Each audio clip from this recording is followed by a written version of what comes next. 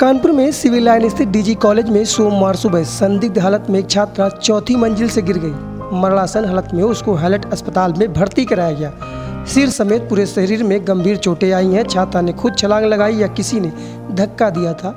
ये हादसा है। इन तीनों पहलुओं पर पुलिस जाँच कर रही है।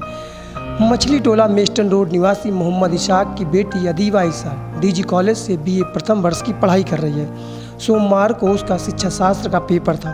कॉलेज पहुँचने कुछ घंटे बाद अदीबा खून से लत पर ज़मीन पर पड़ी मिली। कॉलेज प्रशासन ने उसके परिजनों व पुलिस को सूचना दी।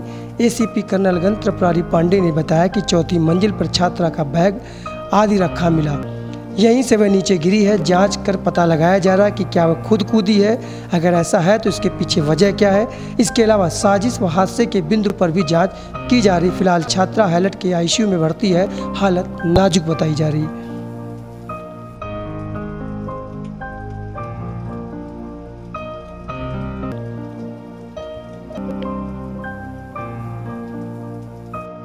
छलांग लगाई है चौथी मंजिल की कॉलेज से। क्या जानकारी, कौन छात्रा है, क्या वजह है? कंट्रोल रूम के मार्फत जानकारी हुई कि एक बच्ची जो चौथी मंजिल से छलांग लगाई है। इस पर यहाँ हम लोग आए तो बच्ची को हॉस्पिटल भिजवा दिया गया है और उसकी विस्तृत जानकारी की जा रही है। उसमें वो बीए फ़र्स्ट ईयर की सेकेंड सेमेस्टर की छात्रा है और उसके परिवार से संपर्क हो गया है। जल्दी सारी बातें सामने आ जाएगी, उसके कूदने का कारण क्या था अभी वो बोलने की स्थिति में नहीं है इसलिए बहुत सी बातें स्पष्ट नहीं है। कॉलेज प्रशासन क्या जानकारी दे रहा है? कॉलेज प्रशासन तो में कुछ लोग हॉस्पिटल गए हुए हैं।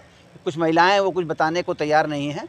यहाँ पे जो सीसीटीवी वगैरह लगी है उसको भी खंगाला जा रहा है। उसके मार्फत से भी सारी चीज़ें एकत्रित की जाएगी। नहीं उसके साथ छात्राओं से या क्लासरूम की हाँ उनसे भी मैंने बातचीत किया बस परंतु कोई छात्रा कुछ बताने को तैयार नहीं है। उसका कारण ये है कि छुट्टी हो चुकी है तो तमाम छात्राएँ यहाँ से जा चुकी हैं।